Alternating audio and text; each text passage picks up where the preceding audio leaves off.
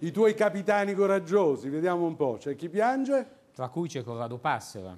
Eh. C'è chi piange per la manovra del governo Monti, ma c'è anche chi ritrova il sorriso, le banche. Perché? Perché il decreto di Monti e di Corrado Passera, che ha lasciato Banca Intesa per diventare superministro, comporta almeno tre benefici per le banche. Guardiamo ad esempio quello che è stato più citato, cioè la riduzione a 1000 euro del del tetto per il pagamento in contanti. Prima era di 2500 euro. Questa misura dovrebbe servire a ridurre i pagamenti in nero e quindi l'evasione fiscale. Vedremo. Cominciamo dal vantaggio più piccolo, eh, più commissioni per le banche. Eh, la riduzione del tetto a 1000 euro farà aumentare, si stima, di circa il 30% i pagamenti senza denaro, quindi con bonifici, assegni, carte di credito, carte prepagate. Questo, siccome le banche trattengono una commissione, farà aumentare i ricavi e anche gli utili delle banche.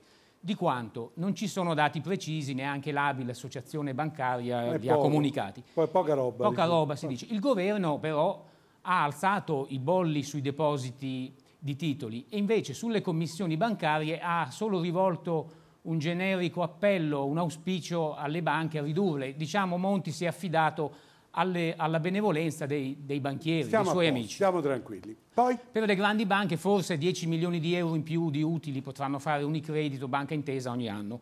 Poi c'è un vantaggio più consistente, sempre per le banche, deriva dalla riduzione del, dei prelievi in contante. Perché? Perché le banche, le banche hanno un costo dai prelievi, perché pagano di più il personale allo sportello. Pensate che qualche mese fa Alcune banche avevano persino introdotto una tassa per chi ritirava i propri Prelevava soldi allo allo sportello. sportello. Con eh, paga- l'aumento dei pagamenti elettronici eh, le banche quindi avranno mh, bisogno di dare meno, ci saranno meno prelievi di contante. Si stima che quindi ci sarà meno bisogno di cassieri, migliaia di cassieri diventeranno dei potenziali esuberi. Sarà difficile che le banche possano prepensionarli se il governo il governo anche dei banchieri sta alzando l'età pensionabile. Tuttavia, uno dei banchieri più conosciuti, non faccio il nome, ci ha detto che se le banche riuscissero a smaltire o a comunque a ridurre il personale per questi cassieri in esubero, risparmierebbero tutte insieme fino a un miliardo di euro, una volta sola, ma un miliardo di euro è parecchio.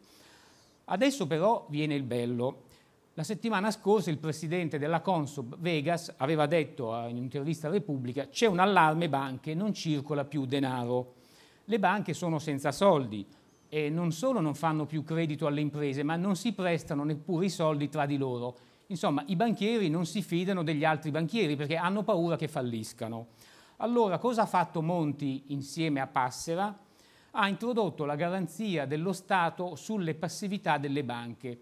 Cosa sono? Sono le obbligazioni, i bond che le banche emettono per finanziarsi e in più ci sarà anche una garanzia del Tesoro dello Stato sui prestiti che la Banca d'Italia farà alle banche questo, italiane. questo pesa molto. Se poi queste banche quindi non fossero in grado di restituire, di rimborsare questi bond, queste obbligazioni, sarà lo Stato a pagare, ma con quali soldi?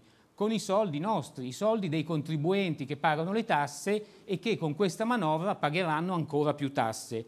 E infatti il decreto stanzia proprio per questa garanzia una somma, un onere stimato, 200 milioni di euro all'anno per 5 anni.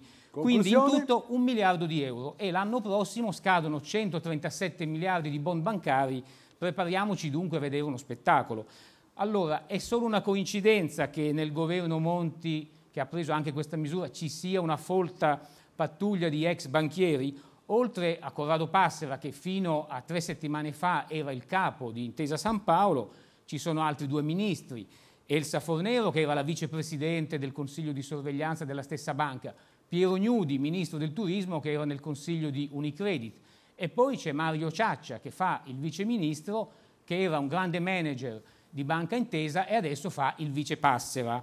Monti chiama il suo decreto Salva Italia. Di sicuro è anche un decreto salva banche. Beh,